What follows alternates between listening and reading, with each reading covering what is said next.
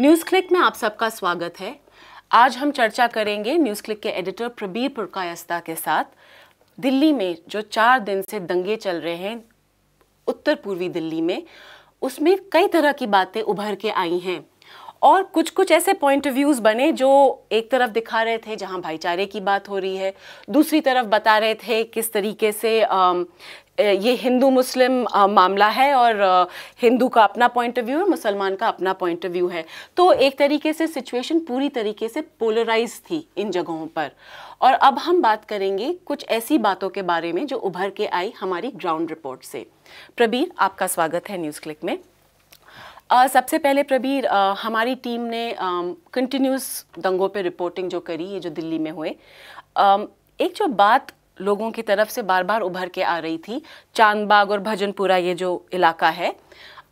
इस इलाके की खास बात यह है प्रबीर कि चांदबाग के सड़क के एक तरफ़ मुस्लिम डोमिनेटेड एरियाज़ हैं और सड़क के दूसरी तरफ़ जो भजनपुरा है, वहाँ पे हिंदू डोमिनेटेड लोकेलिटीज़ हैं। एक जो प्रॉब्लम उभर के आई, ये कहा गया कि ये जो प्रोटेस्ट हो रहे हैं दिल्ली में, ये क्यों हो रहे हैं? सी और एनआरसी के खिलाफ। और ये भी कहा गया कि इसमें क्या तकलीफ़ है? मुसलमान क्यों इसके अगेंस्ट प्रोटेस्ट कर रहे हैं? जब वोट देने के टाइम पे वो अपना वोटर कार्ड दिखा सकते हैं और राशन देने के समय अपना आधार कार्ड दिखा सकते हैं तो क्या तकलीफ़ है कि आप सी ए और एनआरसी के लिए अपना आईडी कार्ड नहीं दिखा सकते? दो घंटा लाइन में खड़े होने में क्या जाता है? तो इस पे अगर आप थोड़ा और विस्तार से समझा सकें कि ये प्रोसेस ही क्या है? हाँ ये एक बहुत बड़ा, मैं कहूँगा, भ्रम है लोगों में कि कोई ऐसी कार्ड हमारे पास है नागरिकता का जो दिखाने से हम नागरिक बन जाएँगे। दिक्कत तो ये है कि इस वक्त ये कानून और इनकी रूल्स के मुताबिक अब जब एनआरसी होगा, इसके बाद ही हम नागरिक स्वीकार किए जाएँगे। नहीं तो 135 करोड़ जो आबादी है देश की, उस पर कोई भी नागरिक नहीं है इस वक्त, सबको सिद्ध करना पड़ेगा, वो नागरिक है। तो सिद्ध कैसे करेंगे? तो ये जो आप कह रहे थे, जो लोग कह रहे हैं कि कुछ ऐसा मैजिक कार्ड है जिसको दिखाने से हम नागरिक सिद्ध हो जाएँगे, आखिर ये मैजिक कार्ड कोई है क्या?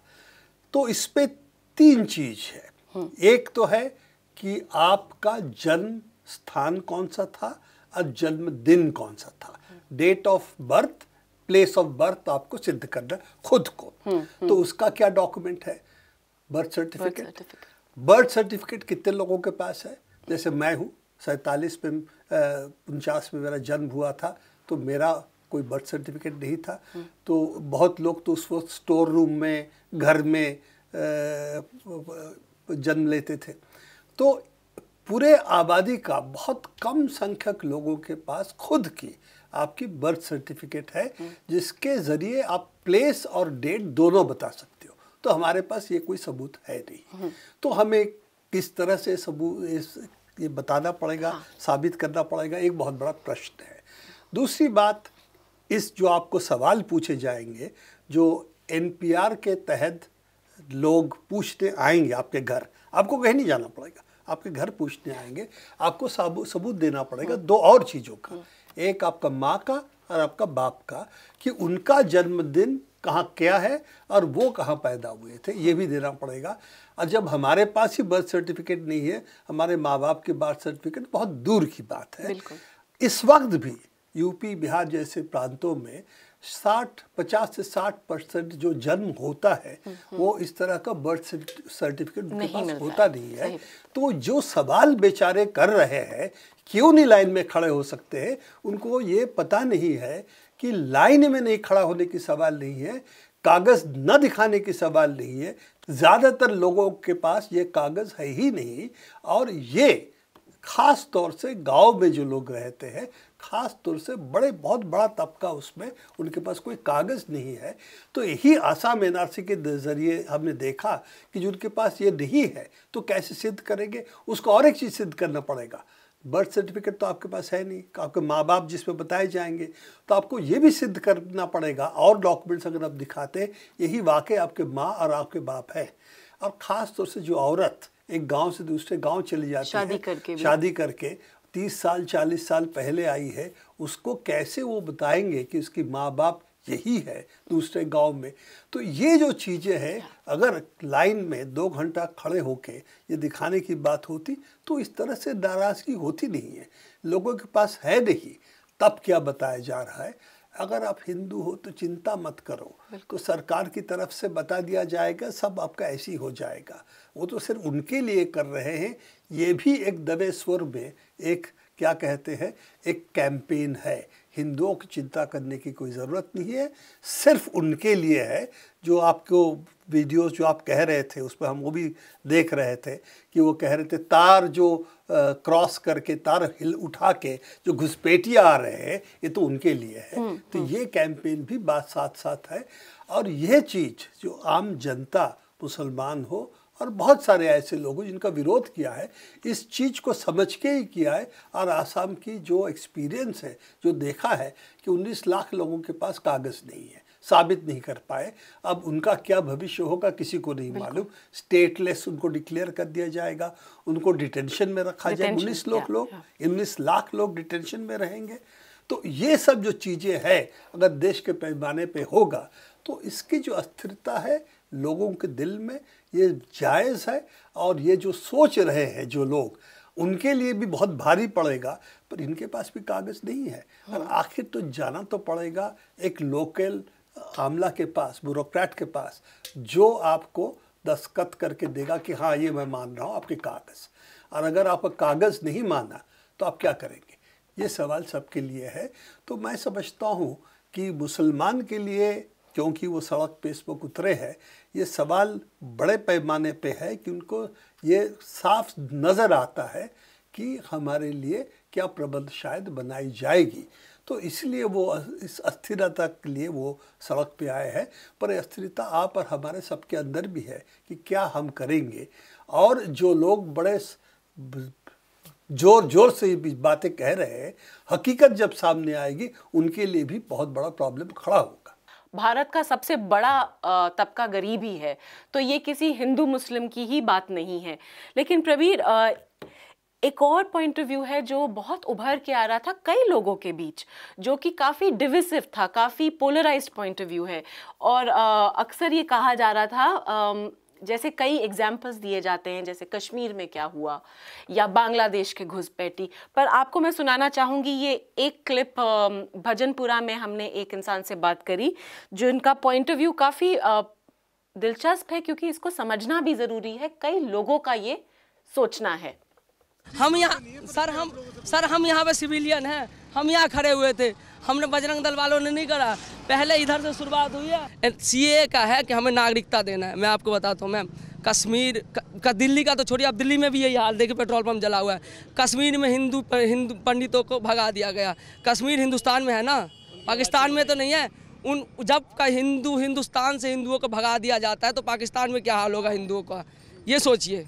अगर हम उनको नागरिकता दे रहे हैं तो इन्हें क्यों दिक्कत है? अगर हमारे पास रिसोर्सेज कम है तो हमारे जनसंख्या नियंत्रण कानून भी आना चाहिए। प्रबीर ये जो आपने सुना इसमें अगेन यही यही आर्ग्यूमेंट था सरकार का कि आ, हमने मुसल इंडियन मुसलमान को टारगेट करने के लिए नहीं किया है। ये तो वो जो प्रोसिक्यूटेड हैं दूसरी कंट्रीज़ में जिनके उन्होंने डिटेल्स दे दिए उनके लिए ये कानून है। तो इसके बारे में अगर आप मुझे बताइए। देखिए इस पर दो चीज़ है। एक तो जो उन्होंने कहा कि पाकिस्तान में हिंदुओं को आश्रय देने के लिए हमने ये किया है। तो अगर रिफ्यूजी पॉलिसी के तहत होता तो देश में एक रिफ्यूजी पॉलिसी होना चाहिए। सिटीजनशिप और रिफ्यूजी पॉलिसी अलग अलग चीज़ें हैं। पर इस शख्स जो खुद अपने आप को बजरंगी बता रहे हैं तो इनका विचारधारा साफ़ है। पर इनका एक भ्रम है कि ये आश्रय की बात नहीं है, सिटीजनशिप की बात है।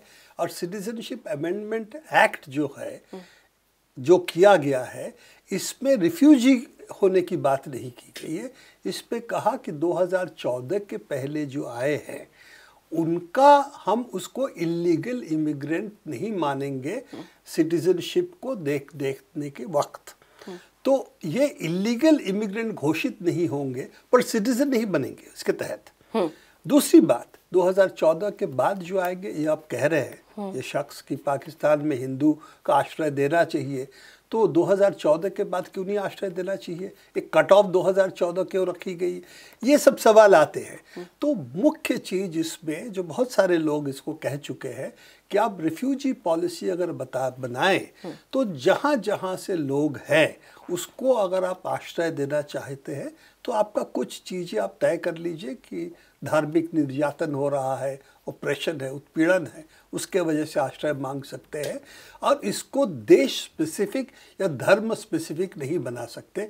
अगर धर्म स्पेसिफिक बनाए, देश स्पेसिफिक बनाए तो हिंदू आपका मलेशिया में भी है, वहाँ भी ऑपरेशन हो सकता है। हिंदू आपका श्रीलंका में है।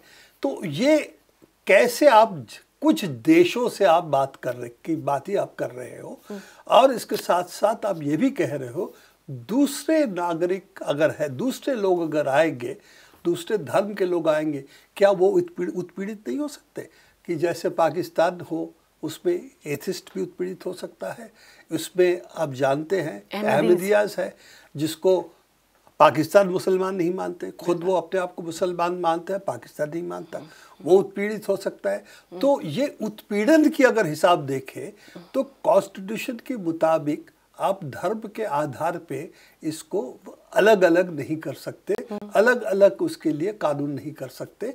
तो एक बेसिक प्रॉब्लम बजरंगी साहब जो बोल रहे थे बच्चा है तो ठीक है, उसकी गो जोश खरोश हो सकता है इन सब चीज़ों में। पर सवाल ये है कि कॉन्स्टिट्यूशन ये बात मान के चला है कि इंसान के बीच में अब धर्म के आधार पे अब भेदभाव नहीं कर सकते। रिफ्यूजी स्वीकार कीजिए कहाँ कहाँ रिफ्यूजी है देखिए। उस पर न कि उस पर 2014 जैसे आंक ये भी होना चाहिए कट ऑफ़ भी होना चाहिए और ये सिटीजनशिप के साथ इसका कोई संपर्क नहीं है। नहीं। ये रिफ्यूजी किसको? शरणार्थी अब माने न माने शरणार्थियों को शरण दे न दे ये इशू है। तो इसको सिटीजनशिप के साथ जो जोड़ने की कोशिश हो रही हो रही है हो रहा है यही गलत है। प्रबीर इनफैक्ट बहुत क्लियरली फील होता है कि कई लोगों ने हमसे साफ़ साफ़ बोला ये बकायदा हिंदू मुसलमान का मैटर है। तो इन लोगों को क्यों तकलीफ़ हो रही है? तो अक्सर इन शब्दों का इस्तेमाल होता है इन लोगों को। वो लोग बैठे हैं धरने पे। इसी थॉट पे एक और शख्स हैं जो कि काफ़ी अगेन यंग हैं ग्रेजुएट हैं। भजनपुरा से ही हमारी उनसे बात हुई और ऐसा थॉट बार बार हमें मिला जब हम फ़ील्ड पे थे। और ये भी कहा गया उन, उन, उन्होंने तो उनका तो ये मानना है कि हिंदू राष्ट्र बनाना है। तो ये जो एक सोच है, ये कहाँ से आ गई और क्यों आ गई? हम सुनते हैं उनकी पॉइंट ऑफ़ व्यू जी, हम तो ये कह रहे हैं, मोदी से हम तो एक ही चीज़ कहेंगे, सीधी बात है। जब इतना ये इस्लामी देश बनाना चाहते हैं, हमारे देश को, ठीक है तो दिख गया है। कश्मीर में पत्थरबाज हो रही है, यहाँ भी हो रही है। ये वहाँ प्रोटेस्ट करते हम कुछ नहीं कह रहे थे किसी को भी। तो सीधी सी बात है जी, हम तो एक ही बात कहते हैं, इन्हें दस परसेंट और दे दो। और पूरे को सारों को वहीं भेज दो। हमें तो अपना हिंदू देश बनाना है सीधी बात हमारी सो बात की एक बात ये है। हाँ तो वो वही तो चीज़ है ना कि जैसे जब हमने पाकिस्तान में बांटा था तो वो भी तो हमने हिंदुस्तान में से निकाला था ना। तो ऐसे दस परसेंट हो रहा हमने हिंदुस्तान में से निकाल देते जगह। जैसे हैदराबाद हो गया हैदराबाद में जब इतने तो हैदराबाद में इतने कर दो फिर इन्हें अलग ही कर दो बस हमसे। हम तो सीधी बात ये चाहते हैं। पूरा एक एरिया ही दे देना चाहिए मुसलमानों को हैदराबाद अगर आप बताएँ। देखिए दो चीज़ें एक तो है कि ये लोग जो शब्द आता है ये कहाँ से आता है? और हिंदू राष्ट्र की जो बात आ रही है, कहाँ से आ रही है? तो ये साफ़ है कि कुछ लोग देश को सेकुलर नहीं मानते। उनका समझ है कि सेकुलर राष्ट्र नहीं रहना चाहिए, हिंदू राष्ट्र बनना चाहिए। तो हमारे सेकुलर कॉन्स्टिट्यूशन से उसका, उनका विरोध है। और ये साफ़ साफ़ कहे कि हम, हमारी कॉन्स्टिट्यूशन को नहीं मानते। बात ही खत्म हो जाती। आपकी बात साफ़ है। कि आप कॉन्स्टिट्यूशन नहीं मानते। तो इस पर इन लोग उन लोग जो है ये हिंदू मुसलमान की बात नहीं है। इन लोग उन लोग जो है इन लोग जो हिंदू राष्ट्र चाहते हैं उन लोग जो इतने सारे लोग हैं जो हिंदू राष्ट्र को नहीं चाहते थे जो सैतालीस में हमारे कॉन्स्टिट्यूशन जब अड़तालीस में पास हुआ था कॉन्स्टिट्यूंट असेंबली में जो आम जनता को रिप्रेजेंट करती थी जो हमने इतने साल से उसको लगाया हुआ है उसके खिलाफ है। तो ये हिंदू राष्ट्र की बात कहाँ से आई? साफ़ है। हम बहुत बार चर्चा कर चुके हैं। ये सावरकर हेगडेवर, गोलवालकर, इनकी समझ थी कि हिंदू राष्ट्र बनना चाहिए। और जिन्ना का समझ था कि एक इस्लामिक मुल्क बनना चाहिए। इन दोनों में जो फ़र्क है फासला है वो उन, उनका पाकिस्तान बना। और जो नेहरू ने कहा था उस वक्त कि हम हिंदू पाकिस्तान नहीं बनने देंगे तो हिंदू राष्ट्र एक हिसाब से हिंदू पाकिस्तान मत भूलिएगा। पाकिस्तान का मतलब पवित्र स्थान। तो हिंदू राष्ट्र हिंदू पवित्र स्थान ये बनाना चाहते ये बहुत सारे लोगों को स्वीकार नहीं है। इन शख्स को इन जैसे शख्सों को स्वीकार है। तो ये कॉन्स्टिट्यूशन को फेंकने उठा उठा फेंकने की बात हो रही है। इसीलिए शाहीन बाग में जब प्रोटेस्ट होती है कॉन्स्टिट्यूशन में हाथ कॉन्स्टिट्यूशन हाथ में लेके हो रही है क्योंकि वो कह रहे हैं कि इस कॉन्स्टिट्यूशन को हम मानते हैं। और ये जो शख्स आपने देखा वो नहीं मानते। और बहुत सारे ऐसे लोग हैं जो इस वक्त सत्ता में भी है जो कॉन्स्टिट्यूशन के नहीं मानते और नाथुराम गोडसे को उन्होंने नेशनलिस्ट मानते हैं। ब्रिटिश के खिलाफ तो उन्होंने कुछ किया नहीं था किया था गांधी के खिलाफ। तो उनको नेशनलिस्ट मानते इस बात पे आ जाते हैं कहाँ पाकिस्तान और एक बार देना है। ये कह रहे हैं साफ़ कह रहे हैं कि और और एक बार देश के विभाजन करें। पार्टीशन करें। और इनकी बात से लगता है कि चाहे वेस्ट यूपी का या हरियाणा के शख्स हैं तो उनका बड़ा उदार मनोवृत्ति है। वो हैदराबाद उनको देना चाहते हैं। हरियाणा में नहीं वेस्टर्न यूपी में नहीं। हैदराबाद। तो मेरे ख्याल से जो हैदराबाद के लोग हैं उनके इसके बारे में भी कुछ कहना हो सकता है। पर ये बड़ा खतरनाक बात है, है। कि बे फिर जो है हमें विभाजन देश की करना है फिर देश के टुकड़े करने हैं और एक टुकड़े उनको देना है। सवाल इनके लिए सिर्फ़ इतना ही है हमारा ज़मीन मत लीजिए और किसी का ज़मीन लेके वहाँ से उनको दे दीजिए। ये जो बात हो रही है इसका खतरनाक सीमा ये है कि देश को सिर्फ़ एक जगह नहीं हर जगह पे टुकड़े टुकड़े करने की बात ये करेंगे।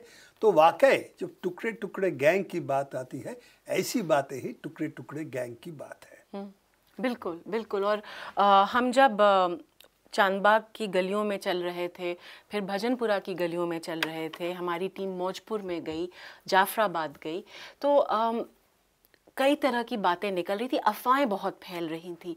और पुलिस को एक्शन में आते आते तीन दिन लग गए प्रवीर। जब डोनाल्ड ट्रंप ने भारत से एग्जिट किया जिस रात को, उस रात को थोड़ा बहुत तैनाती शुरू पुलिस तैनात होनी शुरू हुई उत्तर पूर्वी दिल्ली के रायट हिट एरियाज़ में, जहाँ आग जनी हुई, लोग मरे बुलेट्स चली, खुलेआम।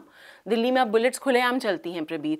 तो एक और इंटरेस्टिंग पॉइंट था कि बोथ हाई कोर्ट और सुप्रीम कोर्ट इन दोनों ने दिल्ली पुलिस को बहुत ही कड़े शब्दों से उनकी निंदा करी। इसके बारे में कि लॉ का जो रोल जो हमारी कोर्ट से उनका जो रोल होना चाहिए एक संतुलन बनाने के लिए।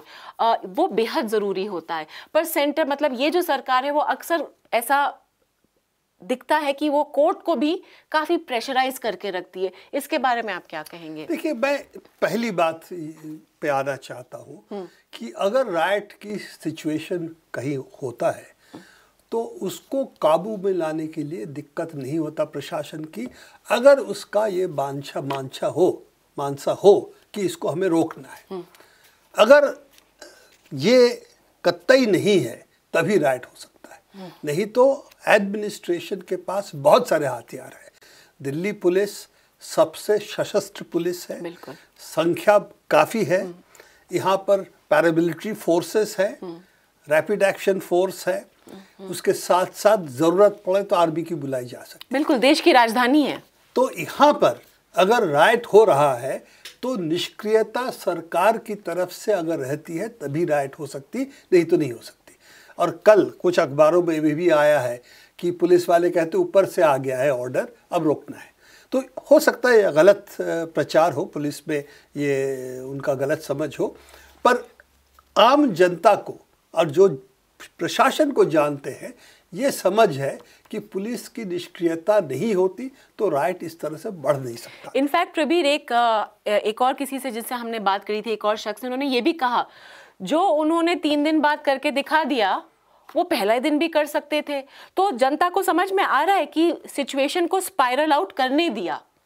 बिल्कुल इस पे देखिए कभी भी अगर जो आ, सरकार है वो रोकना चाहती है राइट्स चाहे वो 1984 के राइट्स हो चाहे आज के राइट हो वो एक घंटा दो घंटा तीन घंटा में कंट्रोल काबू में ला सकती है। उसमें कोई दिक्कत नहीं है क्योंकि कॉन्सेंट्रेटेड फोर्स डिसिप्लिन फोर्स के सामने राइट्स कभी टिक नहीं सकता। तो ये तो साफ़ है इसमें कोई दो राय नहीं है। जब कश्मीर में जहाँ पर उन्होंने हर पाँच आदमी पर एक पुलिस मिलिट्री बिठा दिया वहाँ पर जब इस वक्त कोई भी वो प्रोटेस्ट होने नहीं दे रहे हैं वहाँ पर। तो यहाँ पर नाक के नीचे जहाँ पर इतने सारे फोर्सेस दिल्ली में हैं तब यहाँ पर तीन दिन कैसे ये चला? ये ज़रूर सवाल है। यही सवाल कोर्ट ने भी कहा किया है। कोर्ट ने भी यही ये भी कहा है कि यहाँ पर जो लोग इस तरह के भड़काऊ बयान। दे रहे थे बयानबाजी कर रहे थे उन पर क्यों नहीं एफ़ आज तक हुआ जिसका कोई जवाब पुलिस का नहीं था। और तुषार मेहता सॉलिसिटर जनरल ने कहा कि वक्त नहीं था। तो वो भी कोर्ट ने पूछा वक्त कब आएगा? तो ये दे दो justice Muralidhar Delhi high court के जज और सुप्रीम कोर्ट में के एम जोसेफ दोनों ने बड़ी कड़ी शब्दों में इसकी निंदा की है। पर देखिए बहुत साल से हम मैंने तो 1984 को राइट्स दे, देखा दिल्ली में। इसके पहले बंगाल में हुए थे यूपी में हुए थे बिहार में राइट्स हुए हैं। अब हम्म। बहुत जगहों पर हमने राइट्स देखे हैं पर कहीं भी प्रशासन अगर सख्ती से पेश आता है राइट हो नहीं सकता। तो ये तो साफ़ है सबके जो जानते हैं सबके लिए साफ़ है। जो आपने जो सुना लोगों ने जो कहा तीन दिन अगर यही चलता रहा आज इसको जो अगर कंट्रोल किया काबू की में लाया तब तीन दिन पहले क्यों नहीं किया ये सवाल तो प्रशासन के ऊपर है हम्म। दिल्ली की law and order central subject है उनके हम्म। हाथ में अमित शाह होम मिनिस्टर है उनके हाथ में है तो ये जो है उन पर सरासर जाता है सरकार केंद्र सरकार पर सरासर जाता है कि राइट्स क्यों तीन दिन होने दिया चौथा दिन ही क्यों राइट्स को कंट्रोल करने की कोशिश की गई चलिए प्रबीर, अब तक के लिए बस इतना ही। हमारी टीम्स इस मुद्दे पे रिपोर्ट करती रहेंगी। एक बात ज़रूर है कि जब भी कोई एरिया राइट हिट होता है, बहुत ही तेज़ रफ्तार के साथ डेवलपमेंट्स बदलते रहते हैं, बहुत बयानबाजी होती है व्यूज़ एंड काउंटर व्यूज़ आते हैं। लेकिन इन सब के बीच में तीखी नज़र और पेने सवाल सरकार से पूछने ही हैं। और यहाँ पे दिल्ली सरकार और सेंटर का जो शासन है, इनको डेफिनेटली जवाबदेही देनी पड़ेगी कि क्यों तीन दिन तक राजधानी दिल्ली में इस तरह की वायलेंस उन्होंने अलाउ करी। देखते रहिए न्यूज़ क्लिक